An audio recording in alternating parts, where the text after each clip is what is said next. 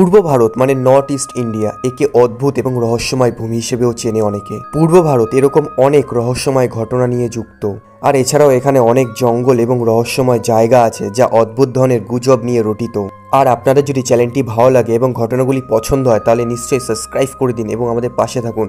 এবং আপনাদের কী ধরনের ঘটনা প্রয়োজন বা ভালো লাগে শুনতে, আমাকে নিশ্চয়ই কমেন্ট সেকশনে বলুন।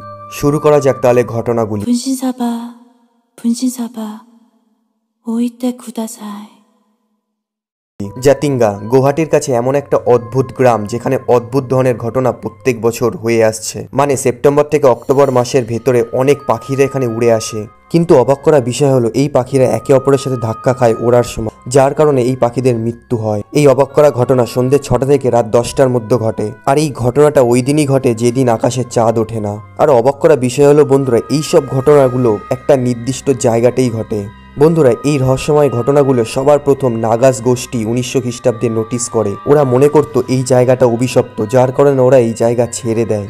আজ বড় থেকে বড় এক্সপার্ট লেভেলের সায়েন্টিস্টও এই জাতিঙ্গার রহস্য উন্মোচন করতে পারেনি। কিন্তু বন্ধুরা, এখানে কিছু সায়েন্টিফিক থিওরিও আছে। বিজ্ঞানীরা মনে করে এই জায়গাটার ট্রোপোলজি একটু অদ্ভুত। মানে চারদিকে এখানে পাহাড়, পর্বত আর মনসুনের সময় জোরে হাওয়া এবং বৃষ্টিপাতের জন্য পাখিদের ওড়ার ডিরেকশন পাল্টে যায়। এই জন্যই চাঁদ না ওঠা রাতে পাখিরা একে অপরের সাথে ধাক্কা খেয়ে মারা যায়। যখন আমরা কবরস্থানের কথা শুনি, আমাদের মাথায় একটা অদ্ভুত ধরনের অনুভূতি কাজ করে। কিন্তু গুহাটির কাছে অবস্থিত কবরস্থানে যে ব্যক্তিরা যায়, তারা মেন্টালি শুধু নয় ফিজিক্যালিও অনুভূতি হয়। ওখানকার স্থানীয়দের মতে, যারা এখানে ঘুরতে আসে বা দেখতে আসে, তারা অসুস্থ হয়ে পড়ে এবং তাদের অদ্ভুত অনুভব হয়। অনেকে এটাও বলে, তারা এখানে অনেক রাতে আত্মাদের দেখতে পায় এবং অদ্ভুত ধরনের আওয়াজ পাওয়া যায়। হ্যাঁ বন্ধুরা, এই কথাগুলোর মধ্যে কতটা সত্যি আছে সেটা আমি জানি না, কিন্তু গুহাটির ওই কবরস্থানটা ভীষণ রহস্যময় জায়গা। বন্ধুরা, পরের যে ঘটনাটা বলব, একটা বটগাছের বিষয়। বন্ধুরা, আমরা সবাই শুনেছি বটগাছে শুধু ভূত নয়, আরও অনেক ধরনের অশরীরই বাস করে। হ্যাঁ বন্ধুরা, এরকমই এক ঘটনা পুরনো গুদামের ওই বটগাছের বিষয়ে বলব।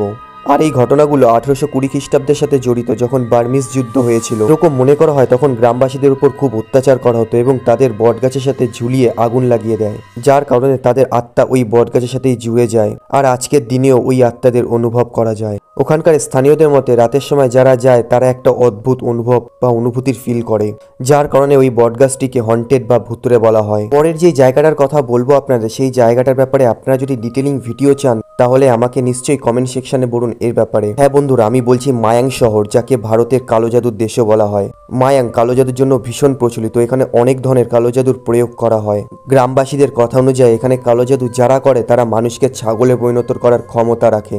এছাড়াও ভালো মানুষকে খারাপ করার শক্তি রাখে, গরিবকে বড় করার ক্ষমতা রাখে। আর সব থেকে বড় ব্যাপার হলো কাউকে এরা মেরে ফেলারও ক্ষমতা রাখে। হ্যাঁ বন্ধুরা কালো জাদু সবসময় খারাপ কাজের জন্য ব্যবহার করা হয় না। কিছু ক্ষেত্রে ভালো কাজের জন্য প্রয়োগ করা হয় কালো জাদু ব্যক্তিরা তার সমস্যা নিয়ে কালো জাদু প্রদর্শনকারীদের কাছে যায় এবং তার সমাধান বের করে তারা। আজকের দিনেও যদি আপনারা মায়াং শহরে যান, তাহলে আপনি দেখতে পাবেন ওখানে কালো জাদু প্রদর্শন বা চর্চা করছে। পরের যে জায়গাটার ব্যাপারে বলব আপনারা সেই জায়গাটা হলো হাই হিম পিকনিক স্পট। বন্ধুরা, এই জায়গাটা দিনের বেলায় একদম নর্মাল থাকে, আপনি দেখলে বুঝতেই পারবেন না, কিন্তু রাতের সময় এই জায়গাটা ভীষণ ভয়ঙ্কর হয়ে ওঠে। স্থানীয়দের মত হিসেবে এই জায়গাটা ভুতুরে কারণ এখানে অনেক ধরনের প্যারানর্মাল অ্যাক্টিভিটি দেখা গেছে। স্থানীয়দের মতে, এই জায়গায় অনেক রাতে একটা অদ্ভুত ধরনের কালো ছায়া ঘুরে বেড়াতে দেখা যায় এবং সে অদ্ভুত ধরনের মুখ দিয়ে আওয়াজ বের করে। আর এখানে অস্বাভাবিক গতিবিধি হয় ওই ছায়ার কারণে। পরের যে জায়গাটার কথা বলব আপনাদের, সেটা একটা জঙ্গলের ব্যাপারে বলব। কিন্তু বন্ধুরা, জঙ্গলে তো এইসব কিছু হয়েই থাকে। কিন্তু অরুণাচল প্রদেশের জুলিগ্রামের পাশে অবস্থিত এই জঙ্গলটা ভীষণ অদ্ভুত। অদ্ভুত, তার কারণ হলো যখন কেউ ওই জঙ্গলে মাছ ধরতে বা শিকার করতে যায়, তাদের উপর ছোট ছোট পাথরের বৃষ্টি হয়। হ্যাঁ বন্ধুরা, এরকম মনে করা হয়, যারা ওখানে যায়, তাদের কেউ অনবরত ঢিল ছুটছে। আর যারা শিকার করতে যায়, তারা ভয় পেয়ে যায় এবং তারা এদিক ওদিক বন্দুক দিয়ে শুট করতে থাকে। কিন্তু অদ্ভুত করা ব্যাপার হলো, ওখানে কেউই থাকে না, যার কারণে তারা ভয় পেয়ে যায় এবং ওখান থেকে পালিয়ে যায়। স্থানীয়দের মতামত হিসেবে, এই ঘটনাগুলো ইয়াপাম আর ডিমির জন্য হয়, যারা ওই জঙ্গলকে হন্টেড করে রেখে দিয়েছে। নাও, আমরা চলে এসেছি সাত নম্বর জায়গায়, যেটা হলো মেঘালয়ের কালিকা ওয়াটারফলস এই ওয়াটারফলসের উচ্চতা প্রায় এক হাজার একশো এগারো ফিট কিন্তু এই ওয়াটারফলসের সাথে যুক্ত একটা ভীষণ ভয়ঙ্কর ঘটনা আছে। এই ঘটনাটা হলো লিকাই নামের এক বইয়ের সাথে, যার দ্বিতীয় বিবাহ করতে হয়েছিল। লিখাই তার প্রথম স্বামীর পক্ষ থেকে এক মেয়ে ছিল। আর সে জীবিকা নির্বাহের জন্য কুমোরের কাজ করত। লিখাই তার জীবিকা নির্বাহের জন্য কাজ, তার বাচ্চাকে সময় দেওয়া এবং তার স্বামীকে সময় দেওয়ার জন্য এই সব কিছু তার কাছে ভীষণ অসুবিধা হচ্ছিল। আর এই ব্যাপারটা লিখাইয়ের নতুন স্বামীর ভীষণ সন্দেহজনক লাগছিল।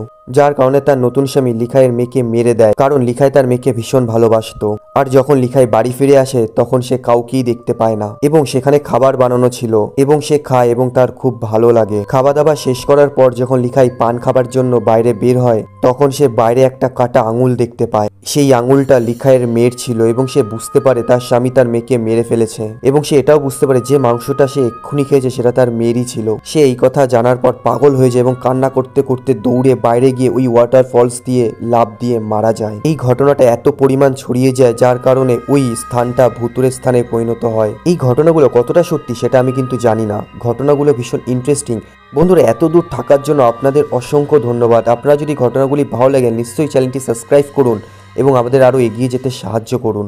দেখা হচ্ছে আপনাদের সাথে আরও একটি পরবর্তী ইন্টারেস্টিং ভিডিওতে